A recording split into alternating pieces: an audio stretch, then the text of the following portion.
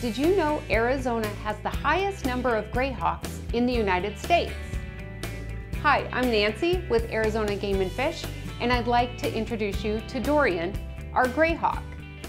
Grayhawks can be found mostly in South America, but during breeding season, which is March through October, they travel northward and they're gonna make their home in Arizona, parts of Texas, and maybe a small part of New Mexico. At most, they figure there's about 2,000 of these birds that winter here, and we have the majority of them.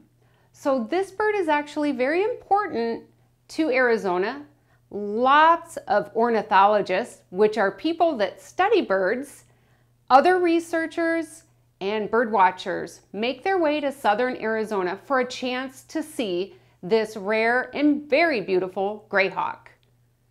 One thing that is really cool about the grayhawk is they like to live near river sources, water sources. So most of them are going to be along the Santa Cruz or San Pedro River at this time.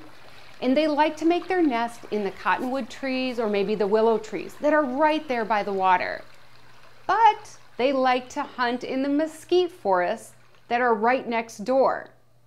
And you might look at a hawk and think, oh, probably like all the other hawks, they eat small rodents and mammals.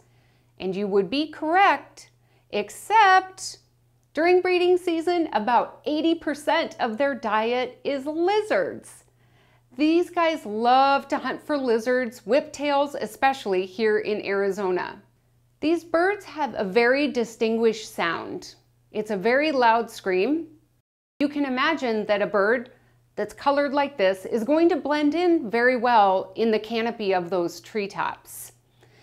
They tend to fly in short bursts. Since they're hunting for lizards, they hang out on branches and make quick darts to the ground in order to catch the, their food.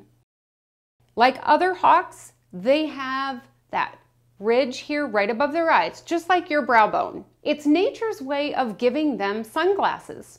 Hawks hunt during the day, so they do need to have some shade from the sun when they're flying around looking for their food. Another thing that's pretty common about hawks or other raptors, which would include owls, eagles, falcons, are these talons. They're sharp and the muscles in their feet are very powerful.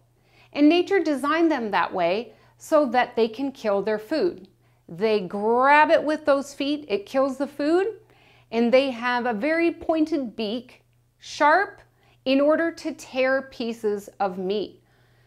And these guys will really kind of hunt for anything once they're back in South America. And it'll include lots of uh, small rodents and maybe some small lizards and amphibians down there as well. Like other birds, they may have predators. But because this is such a rare bird to find in the United States, there's not a lot that we know about this bird in particular. They're not a large hawk. Grayhawks are only about one to two pounds in weight. You're seeing a lot of feathers. And they're about two to three feet at their, their longest for a wingspan. So if you happen to spot a grayhawk, consider yourself very lucky People come from all parts of the United States to visit Arizona in the hopes of glimpsing one of these.